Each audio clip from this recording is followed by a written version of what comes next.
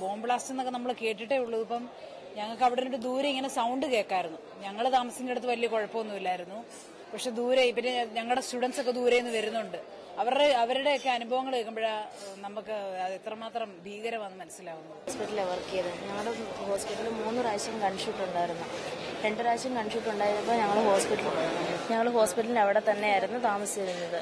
മൂന്നാമത്തെ പ്രാവശ്യം ഹോസ്പിറ്റലിൽ അവർ അറ്റാക്ക് ചെയ്തെന്ന് പറഞ്ഞപ്പോഴത്തേക്കും ഞങ്ങൾ രണ്ടുപേരും ഇറങ്ങി ഓടി വരാം. ഞങ്ങൾ രണ്ടുപേരും ഇറങ്ങി ഓടി നേഴ്സിംഗ് സൂപ്പറിന്റെ വീട്ടിലേക്ക് ടാക്സി വിളിച്ച് ഞങ്ങൾ പോയി.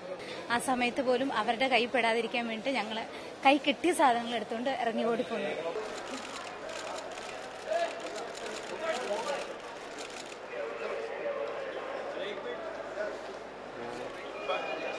क्या बोल रहे हो? जायचे की जायचे कनेक्टिंग फ्लाईट